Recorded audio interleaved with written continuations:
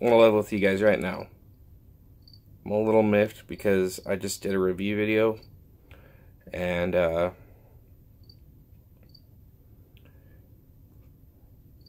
user error on my part. Video got deleted. So, I'm doing this yet again. Um, it is, as of right now, January 1st, 2019. So, Happy New Year to you guys. Um, I know it's been a long time since I've been doing reviews. Holiday seasons were busy. Um, house is still a pretty big mess, even afterwards. Um, still in the process of getting things cleaned up. So that's why we're here in my animal room that I have. I've got a gecko eyeing me down right now. She looks pretty, pretty pissy as usual. You guys can't see her, so. But that's not why I'm here. We're here for a review. Before I get into that, I'm going to go over a couple things that I have coming up. Um, I have more sauces. I'm going to be doing Torchbearer hot sauces. These are all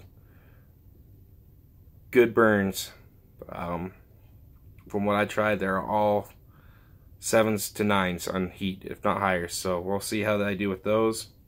Um, I also have the newest Scovie Award winner from Bravo Sauces. Uh, I'm going to be reviewing that here in the not too distant future. And then I also have Troy Primo's Premonition hot sauce. So I'm going to be giving that one a try. And then I have a challenge video for you guys. And I don't usually do challenges. Um, but I have a friend who really wants to do it with me. And she wants me to record it. So I'm going to oblige. Uh, Roger was nice enough to get me two Toe of Satan suckers. Uh, for those of you don't know what that is, it is a cinnamon lollipop mixed with 9 million Scoville extract. So, that's going to lay some hurt on us. When I get to that point, I will go over all the rules and everything that involves that. So, those are things I have going on.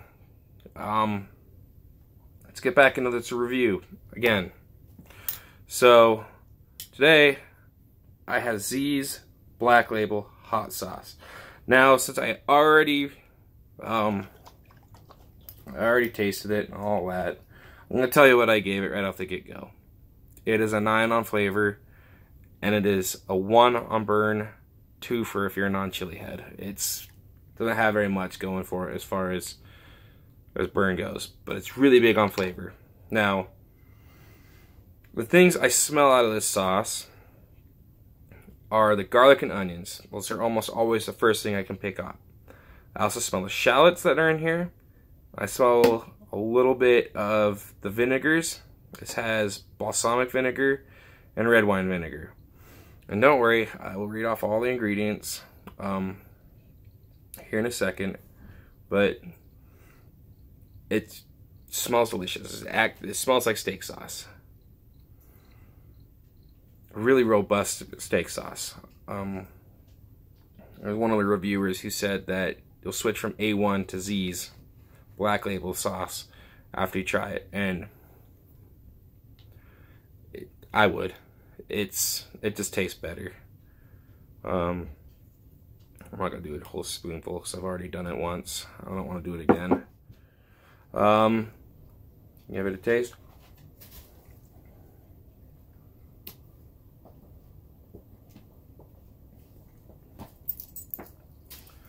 It's good. Um, I'll put that with steak, fish, like sushis. Um, I would put that on chickens, pork chops, anything like that. It's it's a good sauce. First, the ingredients: it is garlic, shallot, jalapeno, cherry juice, clove, balsamic vinegar, cumin, Himalayan salt, cayenne, cilantro, water, red wine vinegar. Um, I thought there was onion in here, but there's not. But I definitely taste the the, car the garlic and the shallots, the cumin, and the clove. And then I taste a little hint of the cherry juice and the peppers, the jalapeno and cayenne. Like I said, it is a one on the burn for me. The hottest pepper in there is the cayenne, and that's believe fourth from the bottom. Don't taste the cilantro too much.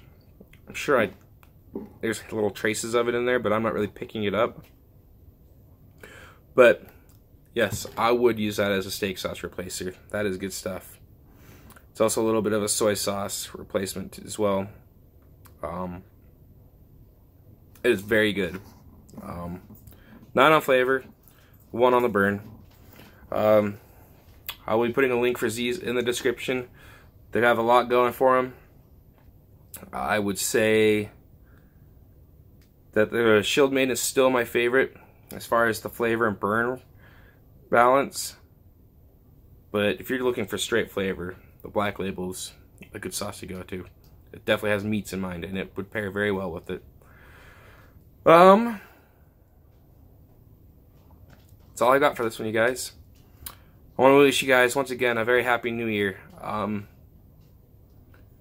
thank you guys for watching. Look forward to more videos here in the not too distant future. Probably this weekend. Should be seeing more of them. That's all I've got for this one, you guys. Thanks for watching. Don't forget to like, comment, share, and if you haven't already, subscribe. Thanks, guys. I'll catch you again later.